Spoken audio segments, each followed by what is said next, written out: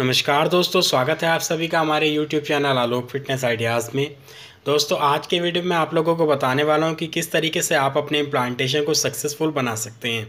और जिन लोगों को नहीं पता है कि इम्प्लांटेशन क्या होता है तो उनकी जानकारी के लिए बता दूँ कि जब एग फर्टिलाइज़ हो जाता है तो फर्टिलाइज़ होने के बाद वो बच्चेदानी की दीवार यानी कि एंडोमीट्रियम से चिपक जाता है और पूरे नौ महीने तक वहीं पे बढ़ता है।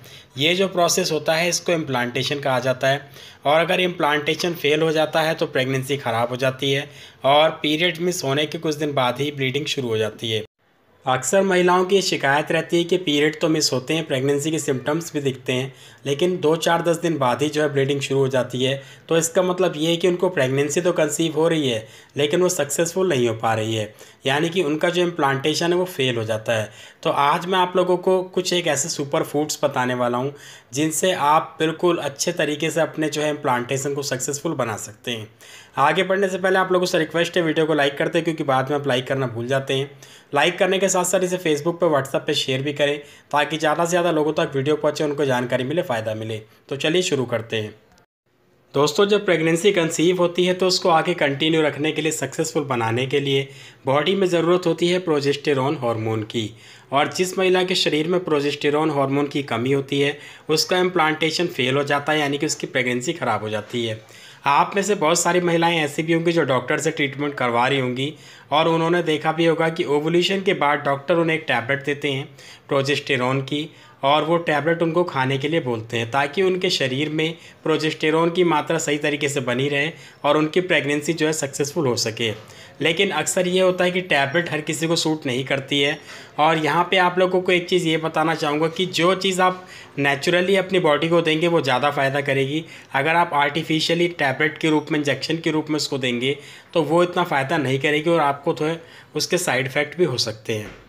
प्रेगनेंसी को सक्सेसफुल बनाने के लिए दोस्तों, ये बहुत ज़रूरी है कि आपके शरीर में विटामिन सी सही मात्रा में हो, क्योंकि विटामिन सी प्रोजेस्टेरॉन के लेवल को बनाए रखता है और आपकी डेली डाइट में कम से कम 750 जी विटामिन सी ज़रूर होना चाहिए।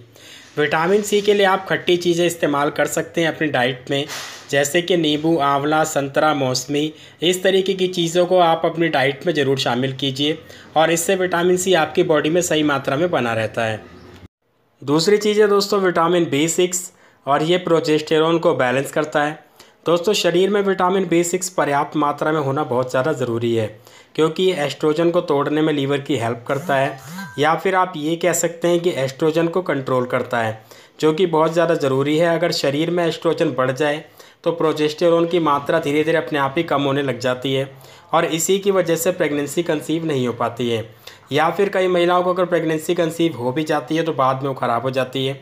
जैसा कि मैंने शुरुआत में आप लोगों को बताया कि पीरियड्स तो मिस होते हैं लेकिन दो चार दस दिन बाद जो है पीरियड्स आ जाते हैं। तो यहाँ पे मैं आप लोगों को बताना चाहूँगा कि अगर आप चाहते हैं विटामिन बी सिक्स की कमी आपके शरीर में ना हो तो आपको अपने डाइट में अखरोट मीट अंडा, मछली सी फ़ूड केला, पालक बीन्स ये सारी चीज़ें अपनी डाइट में आप लोगों को ज़रूर शामिल करनी चाहिए और इससे विटामिन बी सिक्स आपकी बॉडी में सही मात्रा में बना रहता है। तीसरी सबसे ख़ास चीज़ है दोस्तों जिंक और शरीर में हॉर्मोन्स के लेवल को सही बनाने के लिए जिंक का सही मात्रा में होना बहुत ज़्यादा ज़रूरी होता है। दोस्तों ये जो जिंक होता है ये आपके पिट्यूटरी ग्लैंड के फॉलिकल स्टिमुलेट करने वाले हार्मोन्स को सिग्नल देता है, जिससे कि ओवरी को प्रोजेस्टेरॉन हार्मोन बनाने में काफ़ी ज़्यादा मदद मिलती है। इसलिए जिंक वाले फूड्स को आपको अपनी डाइट में ज़रूर शामिल करना चाहिए। जैसे कि मीट अंडा कद्दू या फिर कद्दू के बीज ऑयस्टर जिसे हिंदी में घोंगा भी कहते हैं, आप ये भी ले सकते हैं।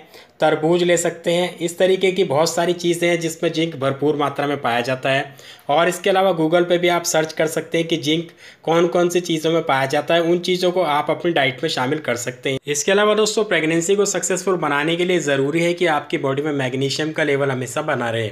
अगर आपकी बॉडी में मैग्नीशियम सही मात्रा में बना रहेगा तो ये हमेशा प्रोजेस्टेरॉन को मेंटेन करके रखेगा जिससे कि आपके इम्प्लांटेशन को सक्सेसफुल होने में कोई प्रॉब्लम नहीं आएगी।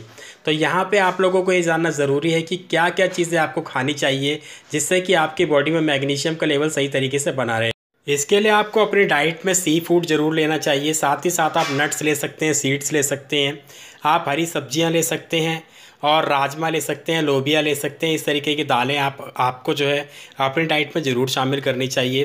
तो इन सब चीज़ों से आप जो है अपनी बॉडी में मैग्नीशियम को पूरा कर सकते हैं। तो आज के वीडियो में इतना ही। उम्मीद है दोस्तों आप लोगों को जानकारी पसंद आई होगी। वीडियो को लाइक कर दीजिए, साथ ही साथ इसे शेयर भी कीजिए। चैनल पर नहीं है तो चैनल को सब्सक्राइब ज़रूर कीजिए। मिलते हैं अगले वीडियो में। धन्यवाद।